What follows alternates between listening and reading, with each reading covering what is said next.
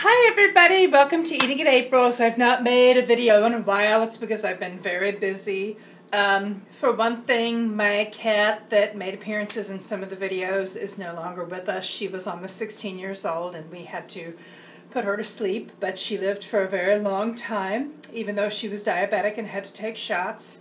So she will be, she will not be joining us today, unfortunately and I have taken a new job. I am a content writer at a, at a company called Mystic Sense now. I was doing psychic work for them, and now I've added this also, so you can check us out anytime you want to. And I've also been studying making more Asian food. Um, as some of you know, Teddy and I have digestive issues, and we have to watch what we eat. So I cook all of our food. We almost never get restaurant food now. And um, one of the things that I discovered is they will take seafood and put a ginger and scallion uh, sauce over it, and it's a piece of cake. So I tried this with scallops this week, and it's wonderful. And you can make your scallops plain and just put salt and pepper after pan searing the way that I show you, or you can make this wonderful broth that I'm going to show you. So, without further ado, without Nessa, here we go.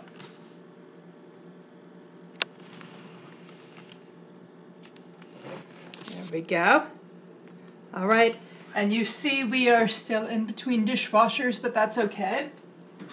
Now, I just take frozen scallops, get them out while they're frozen, and I have got this many for a serving because my husband and I like a lot of scallops, and I just serve them with plain white rice. The way that I do this, I'm going to adjust this so that you can see a little bit more easily. I'll just pop it in the microwave for two and a half minutes and then pat it dry and throw it in the pan. So here we go.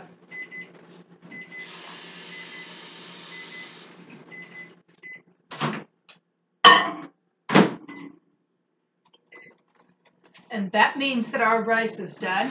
I made a pan of rice. So I'm just going to put that in here.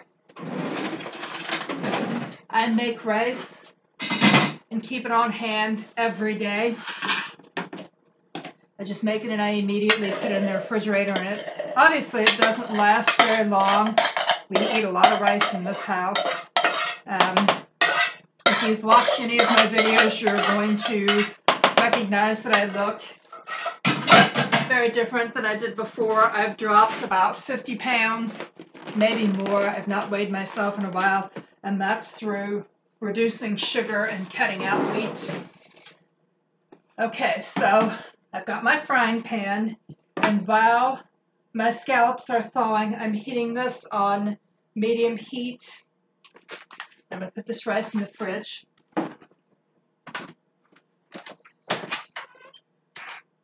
Okay. Since we shop at Aldi, I use this olive oil because it's good for your heart. It doesn't have any flavor. This is a light olive oil, pure olive oil, so it's not like your extra virgin that has flavor. And I'm going to put about two tablespoons of this in the pan. This starts heating while these are thawing.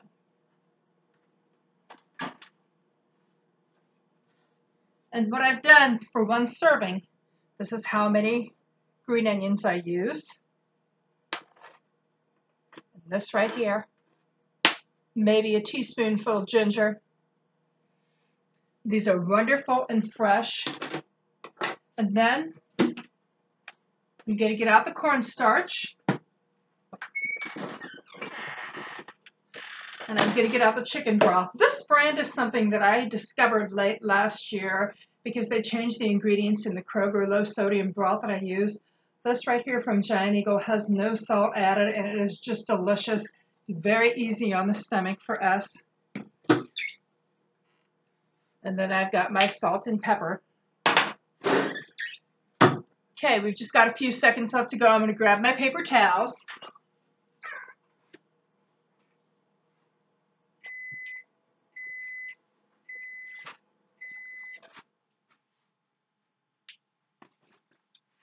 It is very important when you're putting um, meat in oil to cook it that you pat it dry first. Okay, here we go.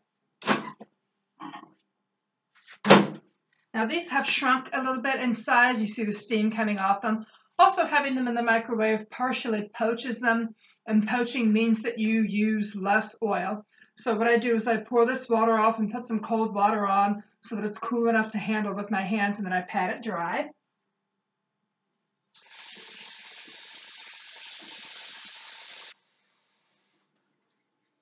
Like that. Okay.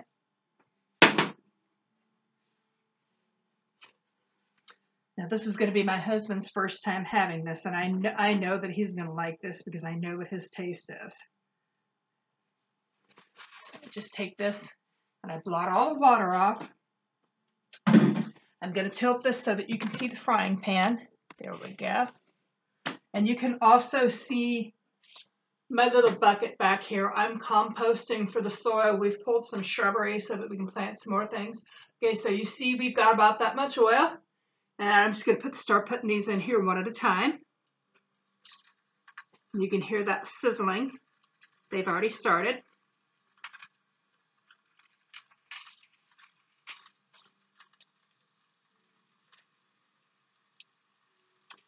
While this is cooking, we're going to get the cornstarch slurry ready. That's what they like to call it as a cornstarch slurry. And what you do is you make, it's basically a gravy.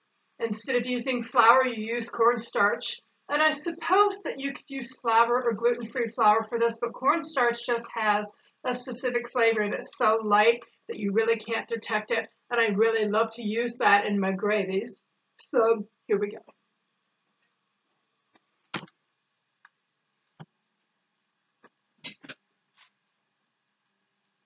So this is going to be made ahead of time. And you do want to measure for this, just because that makes it much easier. Well, I've got my quarter teaspoon measure here instead of my half. So I'm going to do one half teaspoon of cornstarch. So I'll have to do a quarter teaspoon twice, which is perfectly fine.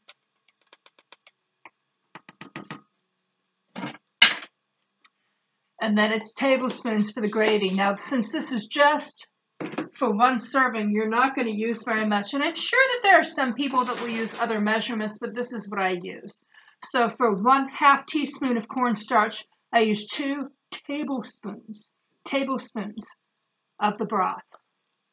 You can use any broth that you want for this. If you have a seafood broth, if you have a different broth, if you want a vegetable broth, or if you want to use water. But this particular broth by Giant Eagle chicken broth with no salt added imparts such good flavor.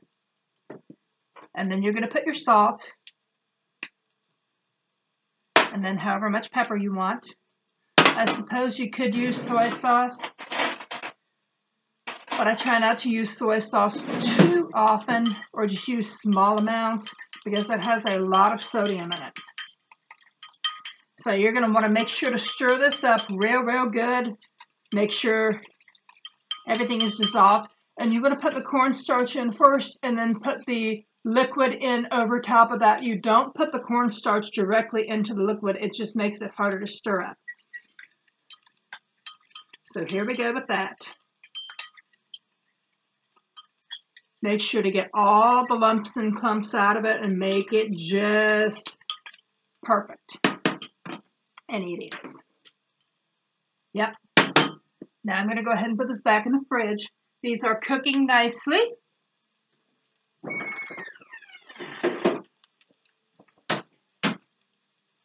Now, some people will put the sauce in first and cook the scallops in that, and I don't do that because I'm going to pan sear one side and get a good crunch on that first.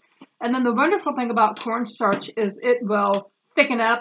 Your cornstarch broth will thicken up very quickly the second it hits the heat.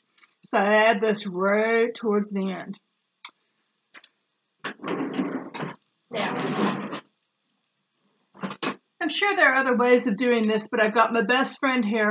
This is what I turn my scallops with. Now see, that's not quite as brown as I want. I want them to get a little bit browner. Now, another thing when you're cooking scallops, probably because I boiled them in the water Um, there'll be a little bit of liquid on them so that grease will pop. Don't be afraid to protect your eyes with something like these. I am so accident prone at this point that a lot of times when I'm cooking, I put these on. And since this is popping, I'm going to wear these. I know I look ugly. Let me tell you something. I've got a pretty apron, and this is worth it. So here we go. Just going to turn this up a little bit more. See that? Okay.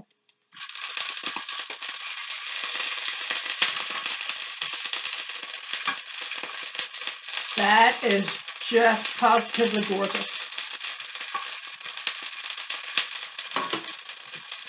Only used about a tablespoon of oil. You can also use roasted sesame oil for this if you want to impart that flavor on it, but you absolutely don't have to. Now our rice is already ready and this is going to go really quickly. This part is going to go really quickly, so I'm going to get the plate and I'm going to get the rice and I'm going to go ahead and put the rice on the plate so you can see what it looks like.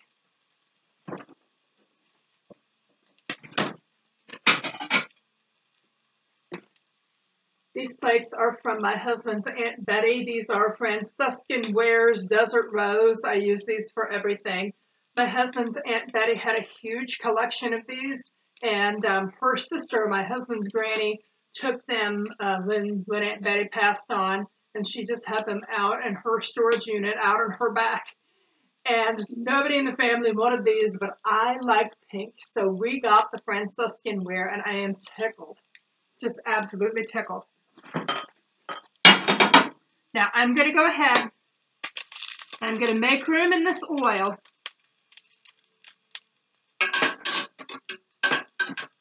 Pop that ginger in first. Because green onions cook really fast. So you want to get a little bit of flavor out of that first. Here we go with this fresh, steaming hot rice. So that steam coming up. Oh, wonderful, wonderful.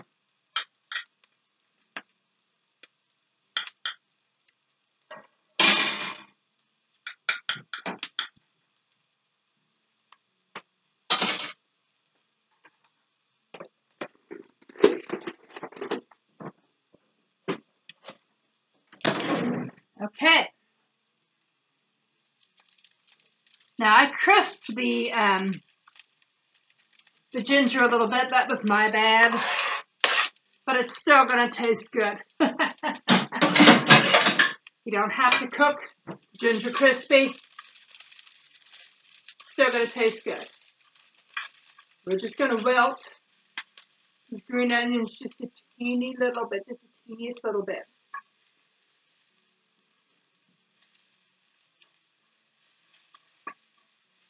You can soften them as much as you want, but you really don't have to cook them very much. Okay. And now comes the magic. Give your cornstarch slurry another stir because it will have settled a little bit.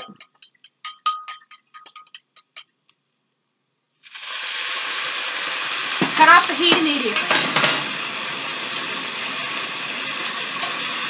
And that's done. Pop those on the plate.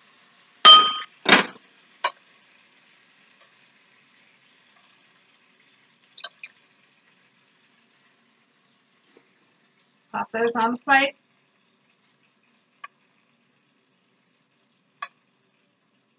Scrape that sauce over.